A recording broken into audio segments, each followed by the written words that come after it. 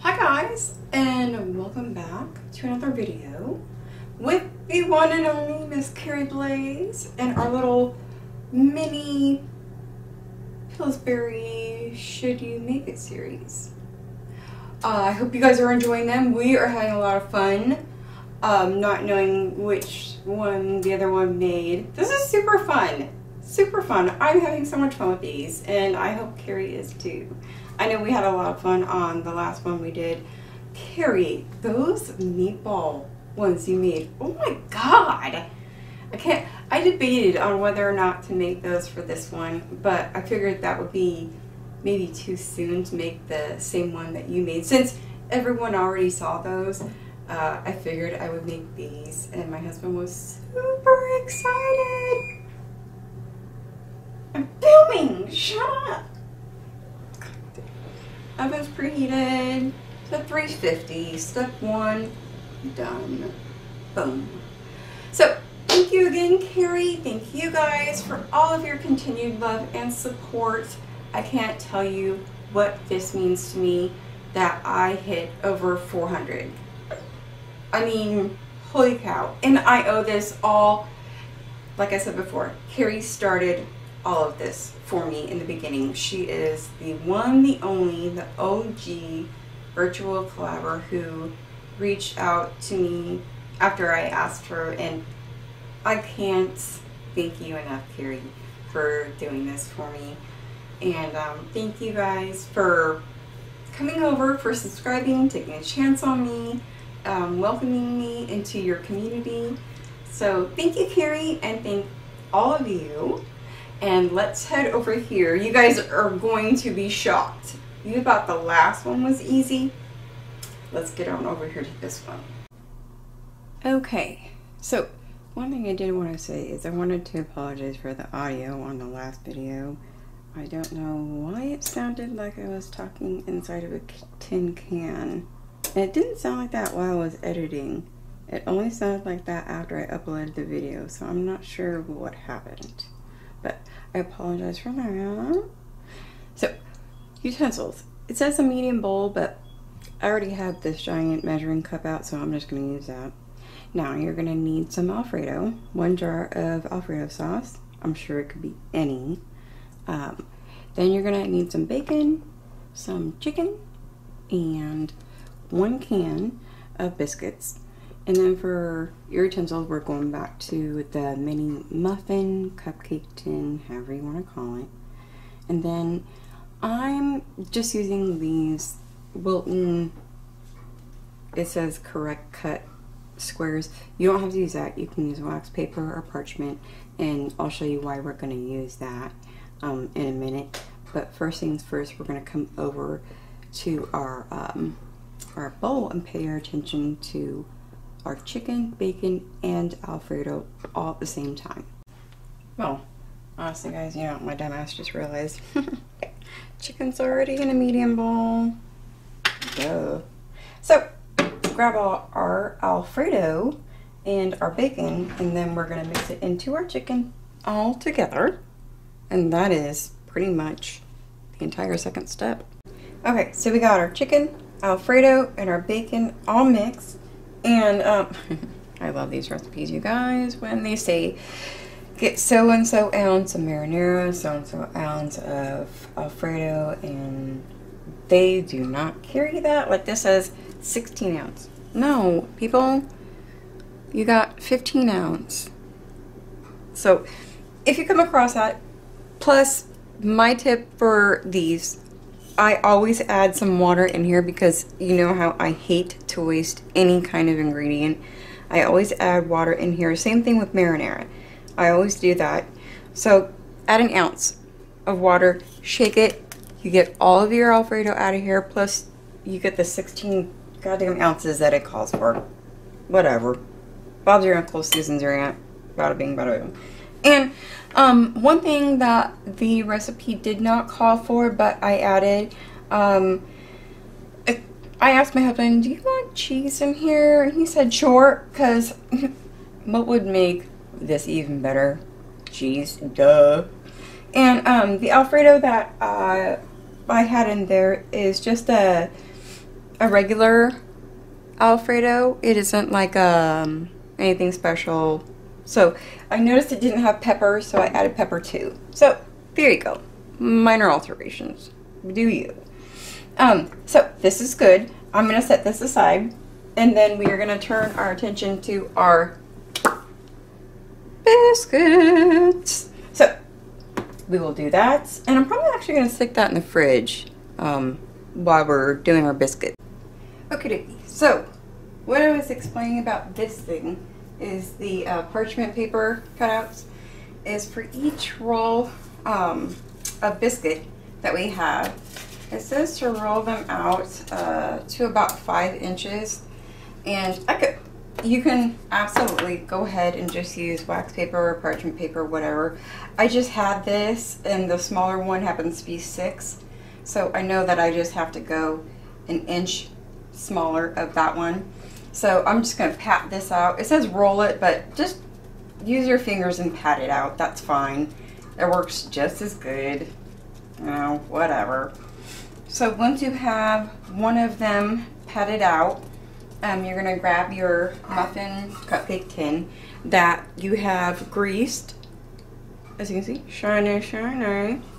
And what I've used is, you guys, check it out. I found my Baker's Joy. Now for anyone that has followed me for a while, you will know that this is my in the kitchen just as as my baby spatula. But the reason I love this better than any other grease spray is because it has um, flour in it and it tends to not give off that, um, I don't know, super oily smell or anything. So that's why I prefer that. And um, so once you get one of these spread out to your five inches, you're gonna take one.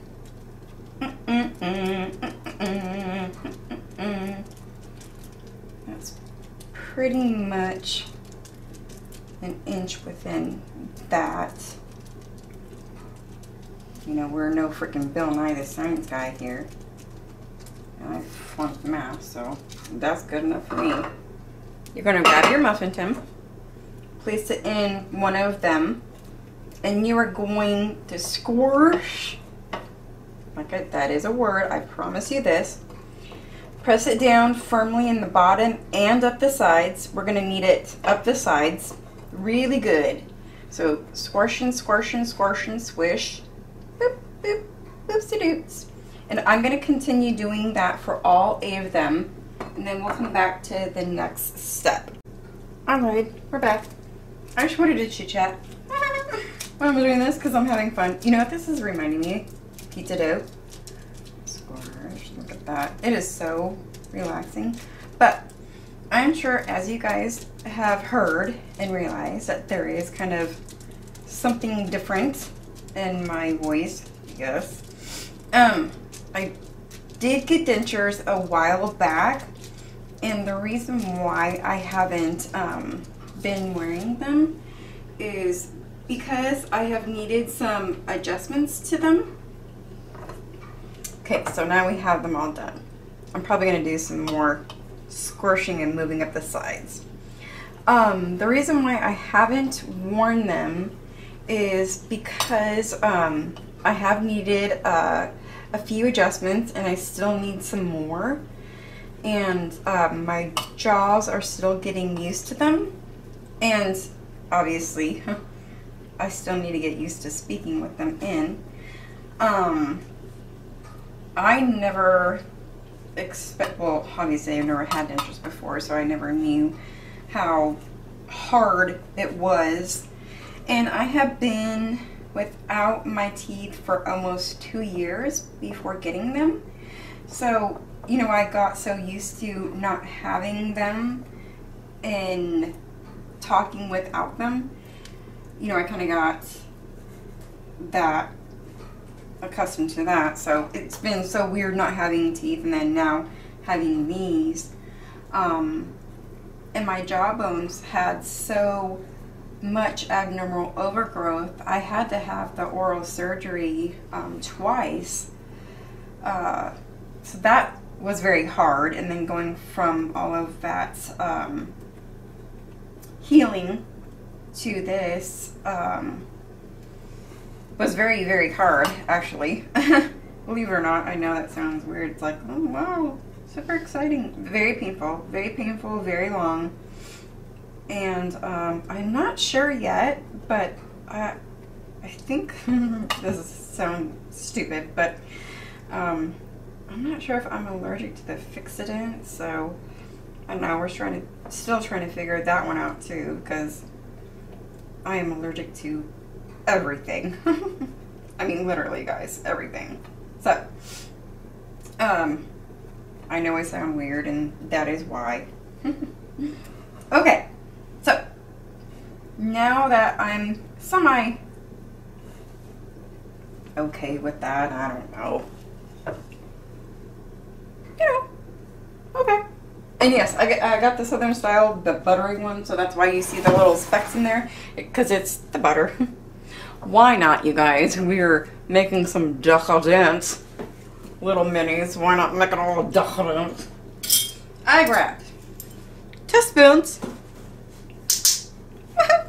okay, we are going to spoon our filling in here.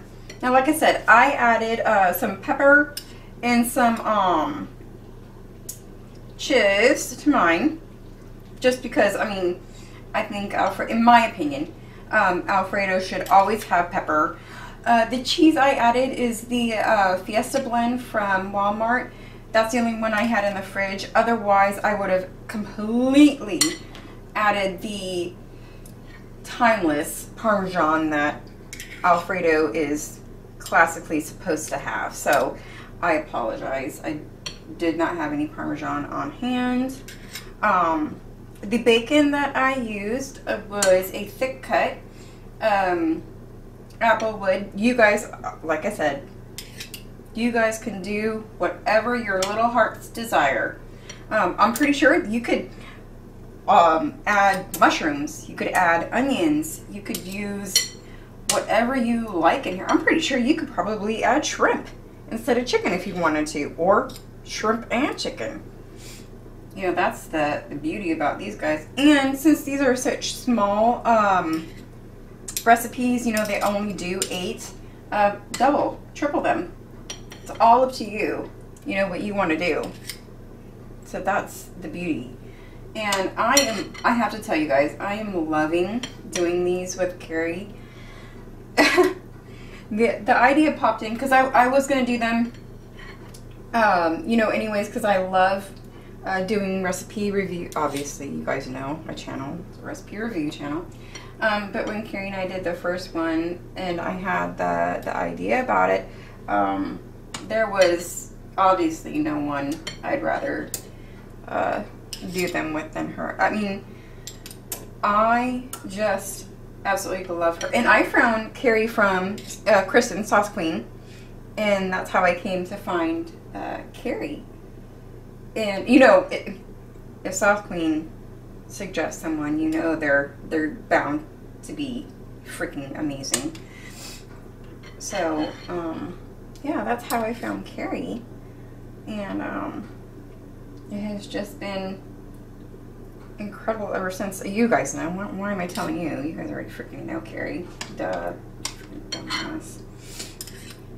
So I, I have these suckers filled like to the brim, as you guys can see, and I have a ton of filling left. Now, don't get me wrong. I mean, this is not going to go to waste by any means. Uh, put this over pasta for my husband, and you know, Bob's your uncle, and there you be. I don't know why I keep saying that, but that, but I'll show you guys. But look, those are like super full because I still have to bring these ends up and close them, which I don't even know how I'm gonna maneuver that freaking stunt. So I'm gonna try and do that and see what we come up with. okay, so the whole um, like sealing them together um, and pinching them Eh, not so much. But I don't know that you can really do that. And I'll show you why. Because if this truly makes enough for what it calls for and it tells you to put a third of a cup in each, no. Because this is how much I have left. I mean, that's a lot left over. And they're not even filled.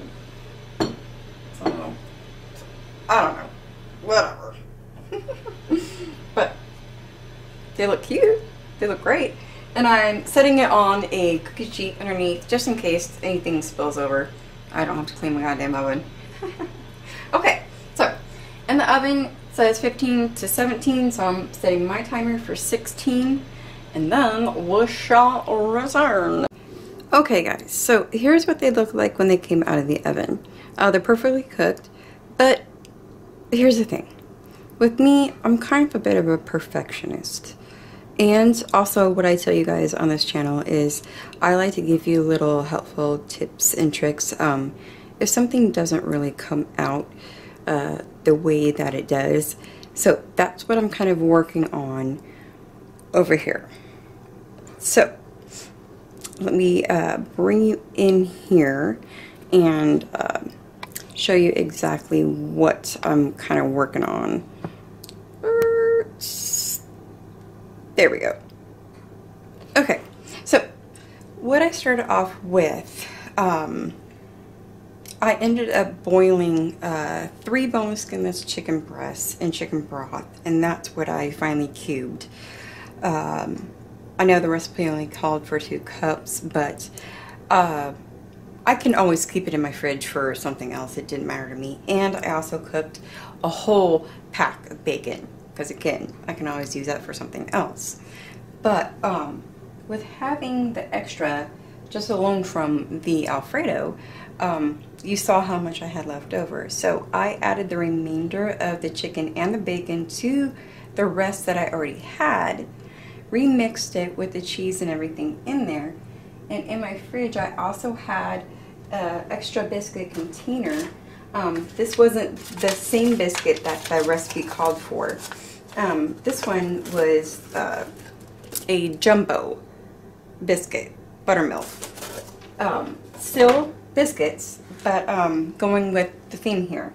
Now, I think I kind of cracked this one, guys. So, when it said five inches, I, I wasn't crazy about that. So what I've been doing is, and I wanted to walk you through what I came to find out that worked wonderful and I'll show you exactly what I'm on my last one so I'll show you what the rest of the other seven looked like.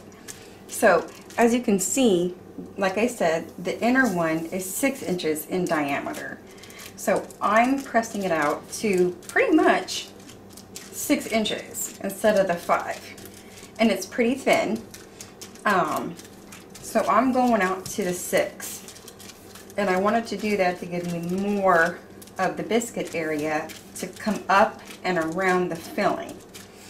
So I've got it to pretty much, as you can see, six inches. So I'll grab that, I'll put it in my muffin tin and I'll bring the muffin tin over so you can see this one. And I'm pressing it down just like I did with the other one.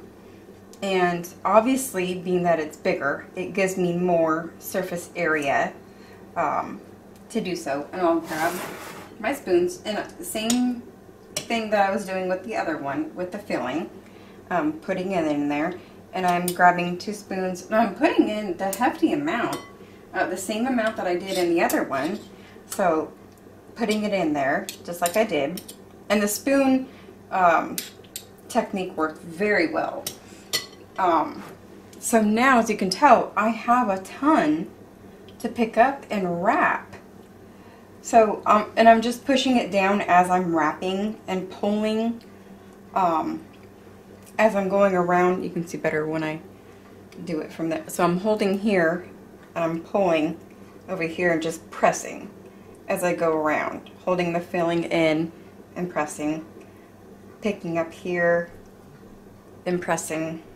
Now at the very end you can pinch here and pull and press and then when you're done just give it a good press as you go around so um, as you can see these eight turned out perfectly So that's what I suggest um, when you guys do this. Hopefully you guys try it because these ones turn out perfect.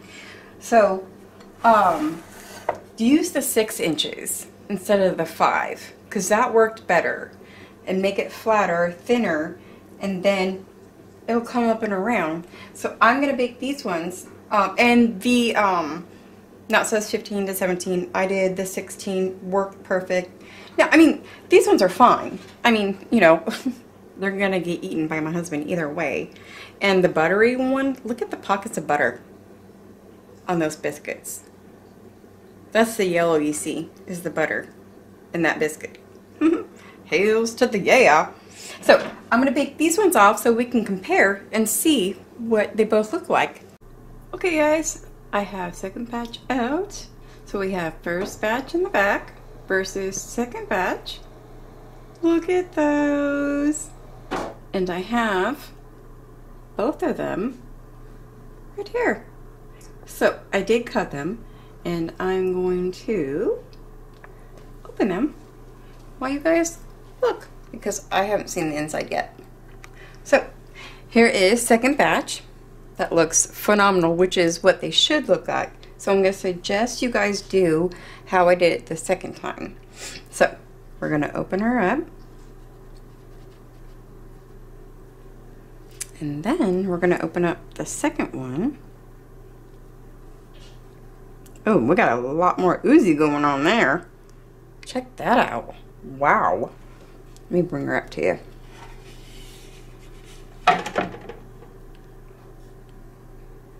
Look at that. Isn't that amazing? If I could tell you guys how incredible it smells. I mean, it smells like, um, like fettuccine alfredo with bacon, obviously. I mean, it smells like heaven in here. And then I think because I used the butter in these biscuits in the first one, I think that's adding another extra buttery aroma in here, but it smells phenomenal. So thank you guys for coming and watching another episode of our little collab with Pillsbury. I hope you guys really enjoy these because we are having so much fun. And these are incredible. Let me tell you another thing with these ones. The amount of ingredients that you need to make these are just amazing. And for most people, these are things that you're already going to have. So, especially now, perfect. So, thank you guys for all your love and support and for tuning in. And thank you, Kerrie, for another virtual collab. I am loving these with you, sweetheart. Thank you so, so much. And from my kitchen to yours, you guys, 嗯ん。